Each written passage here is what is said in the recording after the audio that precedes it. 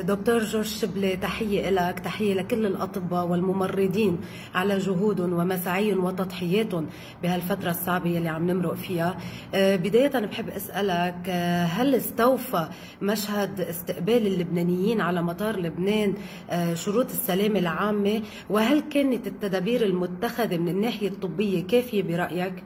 هاي نريمان أول شيء بدي أتشكرك وحابب كمان بدوري أتوجه بتحية للميديا آه، للجهود اللي عم يعملوها خلال هيدي الأزمة. فيما يتعلق بعودة المغتربين عبر مطار بيروت الدولي فينا نقول أنه معايير السلامة العامة اللي تعتمدت والطريقة اللي تم التنفيذ فيها كانوا مقبولين نسبة للإمكانيات وللسرعة اللي صارت فيها القصص. أكيد كان يفضل أنه يكون في آه، تنظيم أكثر وتشدد آه، بالتطبيق أكثر لكن بشكل عام كان الوضع لا بأس به. آه، دكتور اليوم الوضع بلبنان عم يتجه نحو المزيد من التأزم. لأي مدى الحالات اللي عم بيتم الإعلان عنها والكشف عنها والأرقام عم بتكون دقيقة؟ وهل نحن اليوم مؤهلين لمواجهة الوضع بحالة فائم إن من ناحية توفر أماكن الحجر الصحي وإن من ناحية جهوزية المستشفيات؟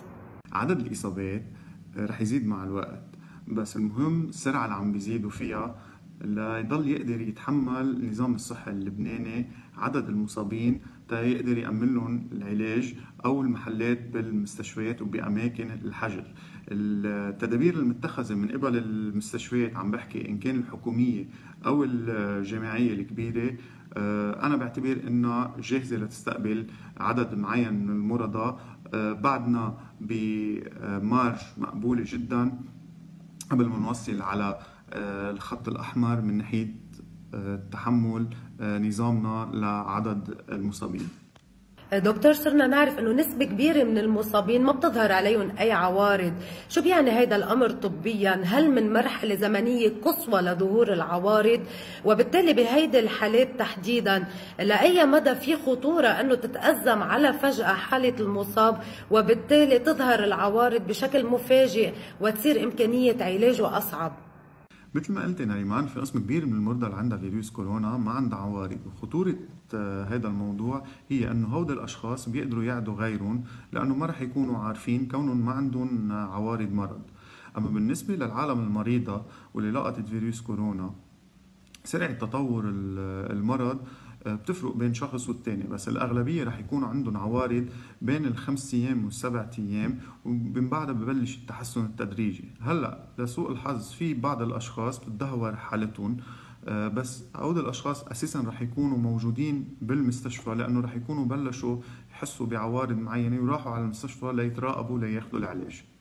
بحال إصابة طفل بالعدوى شو نسبة شفائه وتجاوبه مع العلاج وهل من أعمار محددة عند الأطفال بتدعي للقلق؟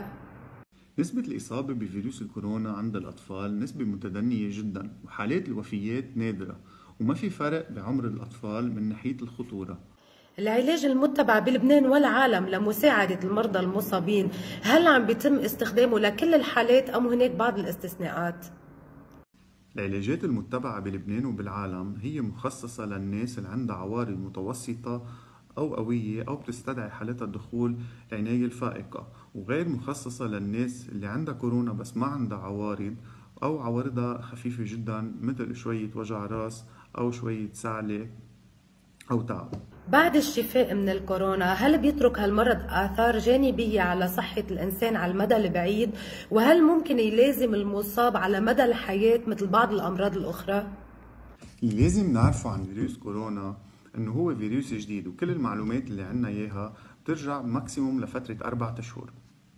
بالنسبة لل الإصابات المزمنة أو الآثار الجانبية اللي بيتركها الفيروس على الجسم هي عادة مرتبطة بالإصابات على الرواية من ناحية تدمير شوية مناطق بالرواية ومعقول تتحسن مع الوقت.